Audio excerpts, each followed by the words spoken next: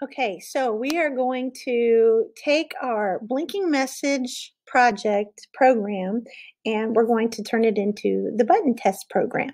So what you'll need to do is if you've already done your blinking message project ad, you're going to open it up just like I'm doing right here. Click on it, open it up.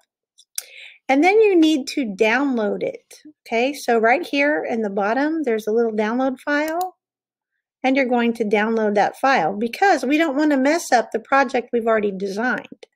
Then click back on home. All right. And then just take your file and let's import our file here. So now we need to go to import file, click import file, upload, choose file, and mm, you'll click on your file, which should be at the very top. Mine is at the very bottom. So here it is. I think there it is right there. I'll click on it, highlight it, click open. And this is going to open it up, bring it up, and then we click go ahead. Okay, now we have our blinking message. Okay, now we want to do, we're going to follow these instructions that are on your, um, your slide presentation, on your, your answer document.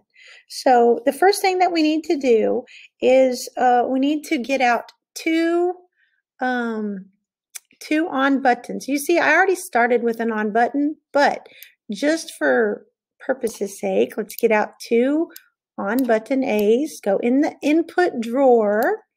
In the input drawer, click on the button, on button A, and we, we take out two. Now we need to change one of these to B. So we have on button A and on button B. And you notice mine over here is now grayed out. So I cannot use this anymore, okay? Because you cannot have more than one of the same start codes. So just so you you might you'll notice that. Now it tells us that on button A is going to have the scrolling message appear and when you press button B the animation appears.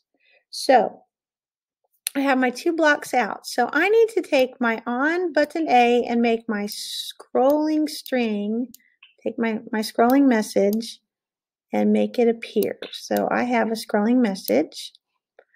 All right. Okay, now let's see here. Let me double check, make sure that worked. Oh, that's not going to work. Okay. Um, dump that in the trash. There we go. And then I need to take my animation and put it onto B, correct? So we're going to move that out of the way.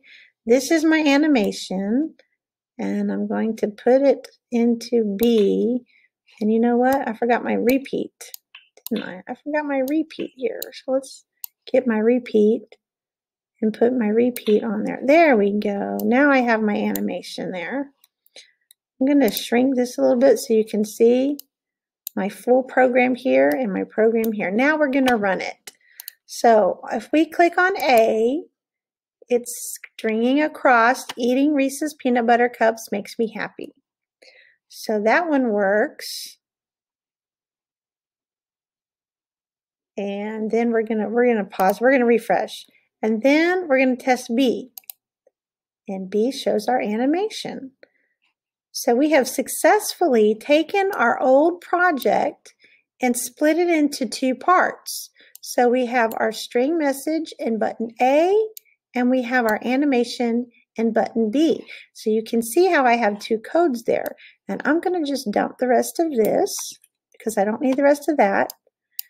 And I have completed this. Now I need to change the name and make sure I name this correctly. It's going to be A2 dash one button test A2 dash one button test and your last name. And mine's Lira, so I'm going to put Lira.